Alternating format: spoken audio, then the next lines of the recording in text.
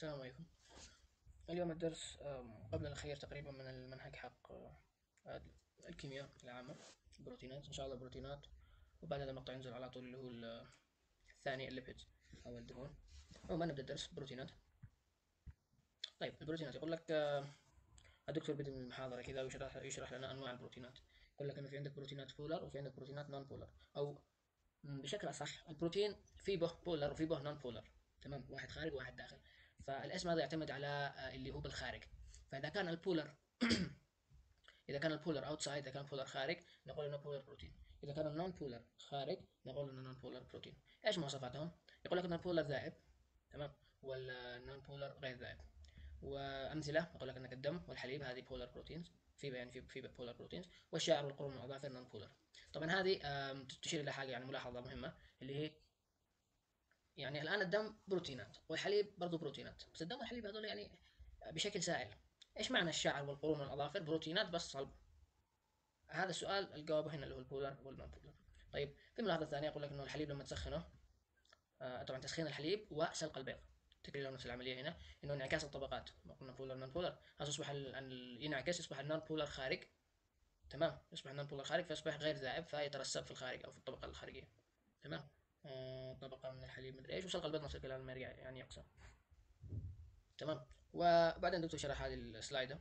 حافظة هنا طبعا مطلوب منكم تحفظوه بس في ملاحظتين مهمة هنا اللي هي الكيراتين والكولاجين هنا الكولاجين نفس الكلام يقول لك إنه long insoluble fibers insoluble معناته غير ذائبة فالكيراتين والكولاجين هذول non-polar proteins تمام. ونفس يقول لك إن ال hair وال horns وال hooves وال fingernails الأظافر والقرون والشعر وهذا كلهم من الكيراتين والكولاجين. يقول لك الكولاجين هنا آه، مثل ال tendons مثل يعني ممكن تحصلهم في العظام في ال connective tissue في ال tendons اللي هي الأربطة تمام؟ وتكلم برضو عن ال membrane والانسولين ووصل لملاحظه مهمة للانزيم تمام؟ آه يقول لك انه الإنزيم بروتين catalyzes and regulate all uh, aspects of cellular function. طبعا وظائف الإنزيمات المهمة إنها تسرع التفاعلات تمام؟ بس الملاحظه اللي إحنا نحتاجها هنا درس البروتينات إنه كل الإنزيمات بروتينات تمام؟ وبرضه في ملاحظة من عند الدكتور كل المستقبلات بروتينات مش الخليه على مستقبلات خلوية اللي تستقبل فيه بالإشارات. المستقبلات هذه برضه هي البروتينات. تمام طيب. آه الآن البروتينات. الآن لما تأكل حاجة في البروتينات الجسم يتخلص من كل حاجة. يعني من ناحية البروتينات يتخلص من كل حاجة ويبقي الأمينو أسيدز الأحماض الأمينية. طيب الحمض الأميني هذا مكون من إيش؟ يعني لما يعني أنا لما تعرف لما تشوف هذا تعرف إنه حمض أميني. في له مواصفات. طبعا عندك الكربون هنا مربوطة باليسار دائما باليسار دائما دائما باليسار الأمينو. لا، مش قول هنا حمض أميني حمض أميني حمض تمام في عندك يعني حمض وفي عندك مجموعة أمين. تمام؟ هذه مجموعة الحمض اللي هي ال COH الكربوكسيل تمام؟ وهذه مجموعة الأمين. فحمض أميني يعني من شكله من اسمه. تمام؟ آه طبعا في عندك ال R ال R هذه اللي يعني تعتبر زي بصمة ال- البروتين لأنه في, هذه الجزئية البروتينات كلها متشابهة. باقي هذه اللي يختلف فيه. فايش نوصل الان و تمام. قلنا كربوكسيل وامينو فركزوا لي برضه إنه ال- البروتينات الطبيعية مجموعة الأمين دائما باليسار. ممكن تكون ممكن تقدر تصنع بروتينات غير طبيعيه تكون مجموعه الامين باليمين بس هذه يعني مضرة وغالبا سام حتى طيب وصلنا برضه إلى هذا اللي هي الجداول الجميلة هذه. تمام. والدكتور قال تحفظوش فيتطلب منا ان نفهم هذه الحاجات هذه. طبعا كيف يجي سؤال بالاختبار؟ يجيب لك آه، يجيب لك يجيب لك المركب طبعا هذا كلام منقول من الدكتور. يجيب لك ذا المركب بدون اسم بدون رمز بدون أي حاجة يجيب لك ذا المركب وش يقول لك؟ هات لي ال properties حقه المواصفات. المواصفات اللي تكون مذكورة هنا باليمين. acidic polar ناتش neutral non-polar مدري إيش. هذه كلها. فيجيب لك واحد. وش يقول لك؟ إيش المواصفات حق ال properties تمام؟ فزي ما قلنا هنا وهنا. أيوه هنا. قلنا هذه البصمة هنا يختلف؟ طيب. آه في الجدول آه الأجزاء هذه ملونة بالأحمر. الأجزاء الثابتة ملونة بالأحمر والمختلف هو اللي بالأسود. تمام؟ فهذا لهم بالأحمر بالأحمر. هذه الأجزاء الثابتة. طيب احدكم ممكن يسال سؤال؟ قبل ما نبدأ نشرح هذه ولأنه في عندي طريقة نشرح فيه تمام؟ قبل ما قبل ما نبدأ نشرح. آه، فهد عنده سؤال الآن مثلا اللي هو أمين انت قلت إنه مجموعة الأمين باليسار دائما باليسار دائما باليسار.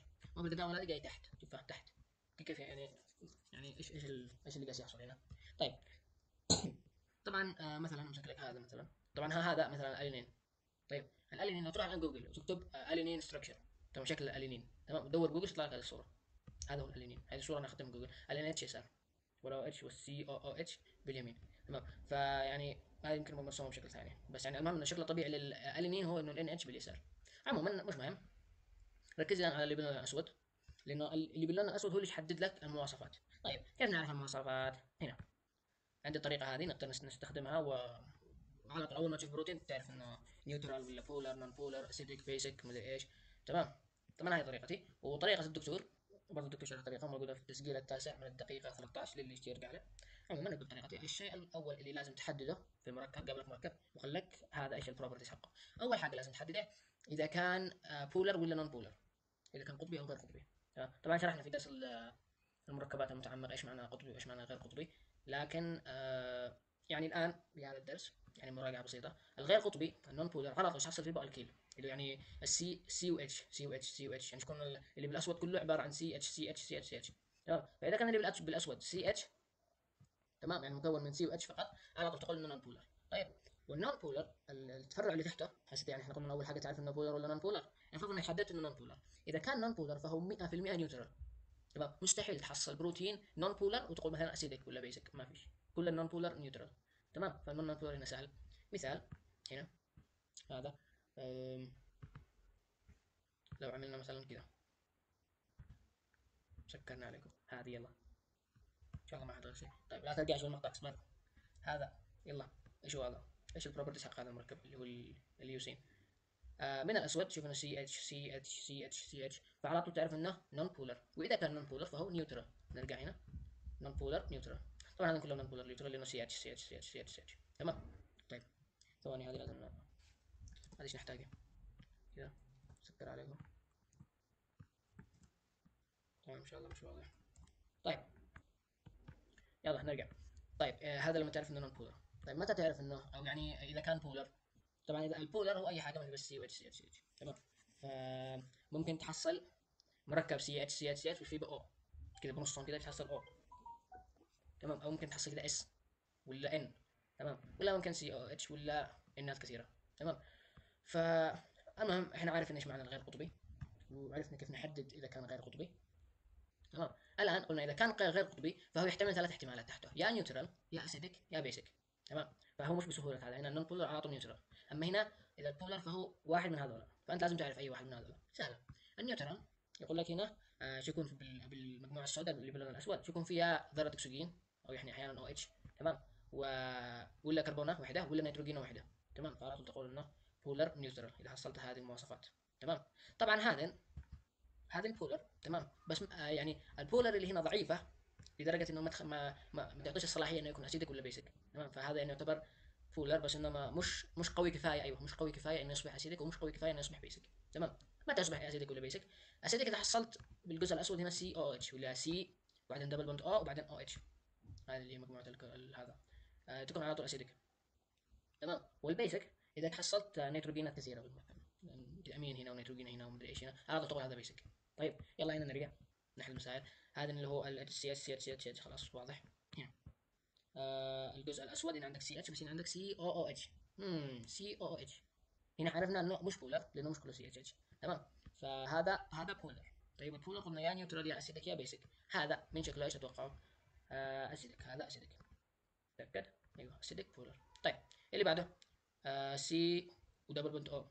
في برضه H هذا شو هذا غالبا acidic برضه acidic طيب C O H نفس الكلام. وهنا C double bond O. نفس الكلام acidic طيب. ف أيوه. طبعا فبعضكم ممكن يسالنا في N H ليش ما نقولش إنه basic ليش قلنا إنه acidic ال basic إحنا قلنا لما يكون في ان ان ان كثيرة إن اتشات طيب نفتح حبة عشوائية هنا. هذه. طيب آه هذه C H وبعدين بنزينه كبيرة وبعدين O H هل توقعوا اي شيء هذه بداية هل هذه polar ولا ولا خلاص وقف المقطع وقل لي إيش مواصفات هذه؟ طيب نرجع. آه إحنا قلنا هنا سي اتش سي اتش سي اتش سي اتش هذه كلها C H ات بس عندك هنا O H بما إنه O H على طول تقول إنه polar. طيب ف polar يحتمل ثلاث احتمالات neutral acidic ولا basic. آه قلنا O بس لحالة صغيرة فهي مش قوية كفاية إنه تصبح آه اسمه ذا إنه تصبح acidic ولا basic فعلى طول نقول neutral. يلا إيش؟ neutral polar. neutral polar. تمام؟ هذه. عندك هنا NH يلا انرجي وسي سي سي سي سي سي انرجي يلا إيش تكون هذه برضه neutral polar neutral polar تمام فطبعا الطريقة تمشي عليهم كلهم ف yes احفظوها أو افهموها اهم شيء طيب نكمل يلا اللي بعده هذا قلنا ال properties والتسجيل التاسع الدقيقه 13 اللي ما فهمش في التسجيلات ونرجع للحاجه مهمه اللي هي مش نرجع نروح لل peptides طيب ال peptide ات هذه يقول لك انه متى يكون معك peptide ال peptide هو الناتج من تكون أو الناتج من ارتباط آه اسمه ذا ارتباط ثنتين amino acid ات أو أكثر. تمام؟ فثنتين amino acid ات أو أكثر يقول لك إنه هذا peptide كيف يتكون طيب ال peptide أو يعني هنا في صورة توضيحية. شوف هذا amino acid وهذا amino acid ارتبطوا برابطة اسمها ال amide. أيوه رابطة ال amide هذه. تمام؟ ف amino acid عندك amino acid مرتبط برابط peptide فهذا يعني يعتبر رابط amide فيعتبر هذا ال dipeptide نوصل لل di بعد شوية أمام. طيب. كيف يتكون؟ طيب يعني الآن كيف ارتبطوا هذا؟ لا. يقول لك ارتبطوا بعملية اسمها ال dehydration أو آه يعني بطريقة أوضح اللي هي إزالة H2O طيب وش هنا عندك COO أو مرسوم بالشكل هذا. وهنا أقول لك آه NH3 صح؟ طيب ركز معي هنا شوية. إحنا قلنا دائما السي أو باليمين والإن إتش باليسار. تمام؟ فدائما السي أو باليمين والإن إتش باليسار. طيب آه هنا N مربوطة بثلاث H ات وهنا C مربوطة بثنتين O ات صح؟ طيب خذ لك ثنتين H ات من هنا آه من ثنتين H ات من المركب الأول و O من هنا. فيصبح إتش 2 إتش 2 أو. وطار الماء والآن قاعد N يرتبط مع ال C وركب آه عمل لك هنا اللي هو ال peptide. طيب آه أو ال amide رابطة ال amide. كيف تتكون رابطة ال amide؟ هذه معلومة جانبية. رابطة الأمايد تكون بين نيتروجين ومجموعة كربوكسيل أو كربونيل اللي هي C double bond O. فال N مع C double bond O الرابطة اللي بينهم هذه اسمها amide وخرج معنا ماء تمام؟ طبعا ال peptide ات انواع ممكن يكون عندك dipeptide. di تذكروا dipolar آه dipole أيوه dipole dipole فال di هنا معناته ثنائي وال tri معناته ثلاثي. فال dipeptide معناته ثنائي فعندك ثنتين amino acid ات. ثنائي من di. وال tri ثلاثي يعني ثلاثة amino acid ات. طبعا هذا اللي مطلوب معنا بالمنهج في أكثر آه هنا طيب آه قلنا di و tripeptide ومدري إيش. طيب السؤال اللي يجيب بالاختبار؟ يجيب لك مركب؟ يجيب لك مثلا هذا المركب يقول لك؟ هل هذا dipeptide ولا tripeptide ولا none of the above ولا all of the above إيش تسوي؟ تعد أو تعرف نوع ال peptide هنا من عدد الأمينات. يعني عد عد النيتروجينات إيش تعرف كم عددهم؟ فهنا كم النيتروجينات عندك؟ واحد. اثنين ثلاثة نيتروجينات. فتقول خلاص على طول tripeptide. تمام؟ فهنا هم أصلا كيف يعني tripeptide؟ tripeptide يعني ثلاثة مجموعات أمينية أو ثلاثة amino acid ات. تمام؟ فعندك dipeptide tripeptide هذه مجرد توسع. يقول لك إنه هذا amino acid وهذا amino acid وإذا ارتبطوا مع بعض يعمل لك dipeptide اللي هو ثنائي تمام؟ في برضه tripeptide عندك oligo oligopeptide oligo هذه لو تترجم من اللاتيني يطلع معناها بعض من تقريبا أو few of طيب. ف oligopeptide يقول لك بعض من ال من ال peptide ات فالعدد تحديدا يكون من أربعة إلى إلى 10 تقريبا. اللي هو ال oligopeptide أكثر منهم يرجع polypeptide تذكروا ال polysaccharides هذا polypeptide. موجود برضه بالبروتينات فال poly لما يكون أكثر من 10 وغالبا اللي نتعامل معه دائما هو ال polypeptide. يعني لما نوصل لل طبعا هذا كله ناخذه في. في اسمه ذا؟ في مادة إيش اسمه؟ ال biochemistry ناخذ هذا كله بالتفصيل تستعجلوا فال protein hydrolysis طيب هنا. نرجع. إحنا الآن قلنا amino acid و amino acid. ارتبطوا لما شلينا ماء صح؟ طيب كيف تفكهم؟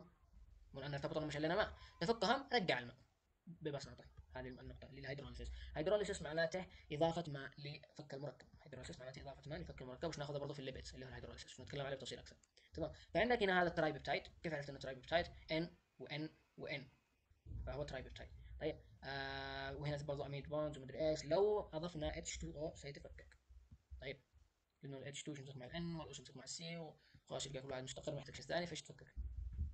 طيب آه الآن protein structure هذه برضه جت معنا في المنهج مع انها موجوده بتفصيل أكثر في ال biochemistry ف يعني هذه مجرد مقدمه يعني. إنه يقول لك الأسامي في عندك primary و secondary و tertiary و quaternary طيب ال primary هذا لما يقول لك اللي هو ترتيب ال amin طبعا هذا amino acid. تمام؟ وهذا amino acid. يعني قصدي هذا amino acid وهذا amino acid وهذا amino acid وهذا amino acid. تمام؟ فال primary يقول لك ترتيب ال amino acid ات بدون النظر إلى التركيب ثلاثي الأبعاد. يعني شكلهم على ورقة كيف يكون؟ هذا يكون primary structure طيب لو زادوا ال amino acid ات كثروا كثروا كثروا كثروا والروابط ال non-covalent بدات تشتغل تمام؟ شو بدا يتكون شكل ثلاثي أبعاد تمام؟ فلما يكثروا ال primary ات يتكون عندك ال secondary ال secondary اللي هو لما يجتمع ال primary ات يكون شكل ثلاثي أبعاد. طبعا اللي موجود معنا في الملزمة هو هذا ال secondary أو اللي اسمه helix تمام؟ ممكن يقول لك هذا اسمه تقول له helix أو secondary structure تمام؟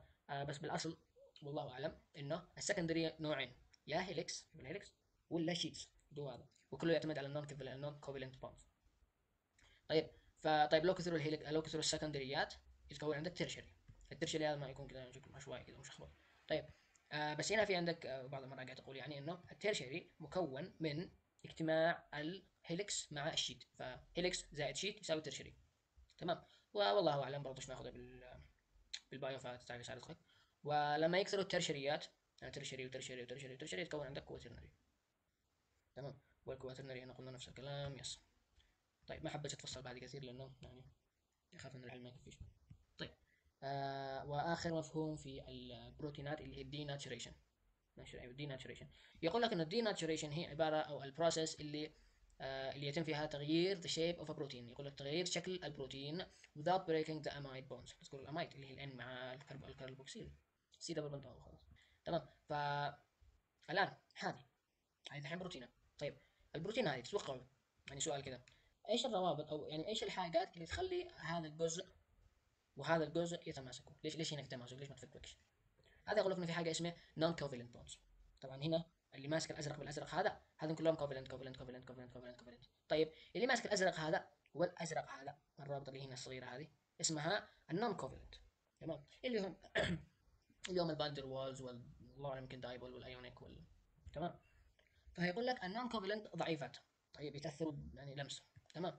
فيقول لك إنه هنا عندك heat وعندك برضه acid وعندك base هذه الحاجات مجرد ما تضيفهم للبروتين بتركيز عالي شوية يتفكك يرجع زي كذا يتفكك يعني إيش؟ الروابط اللي هنا اللي هي non-covalent ال Van der Waals ومدري إيش تتأثر بالحرارة فتفتك على طول خلاص يعني تباعد تمام. وهذا الآن المركب بعد ما حصل له denaturation طبعا لما تشيل الحرارة ترجع هذه صورتها الطبيعيه تمام فهنا يقول لك temperature ولا acid ولا base آه يقول لك disrupt the non-covalent bonds نفس الكلام. وهذا شرح مفصل.